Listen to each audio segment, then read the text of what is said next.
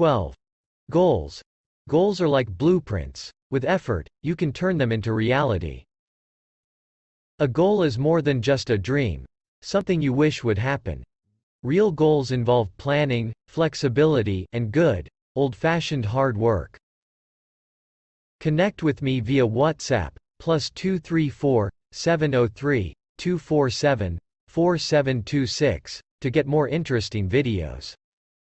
Goals can be short range, taking days or weeks to accomplish, medium range, months, and long range, a year or more. Long range goals can be reached through a series of intermediate goals.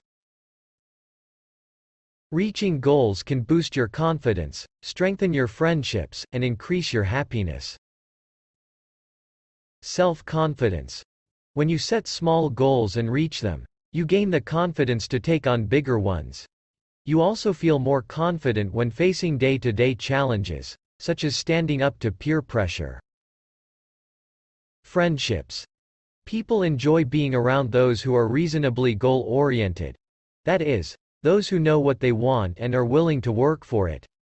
Moreover, one of the best ways to strengthen a friendship is to work with another person toward a common goal. Happiness. When you set and reach goals, you feel a sense of accomplishment. I love having goals.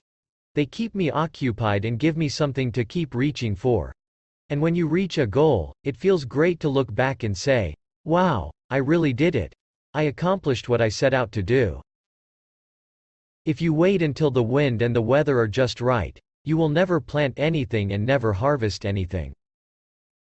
He that observeth the wind shall not sow, and he that regardeth the clouds shall not reap. Ecclesiastes chapter 11 verse 4. What you can do. Take these steps to set and reach your goals. Identify. Make a list of potential goals, and prioritize them choosing the ones you want to work on first, second, third, and so forth. Plan. For each goal, do the following. Set a realistic deadline.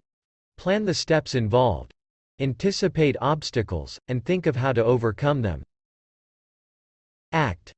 Do not wait until you have every detail worked out to get started. Ask yourself, what is the very first thing I can do toward reaching my goal? Then do it.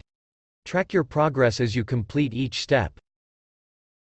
The plans of the diligent surely lead to success.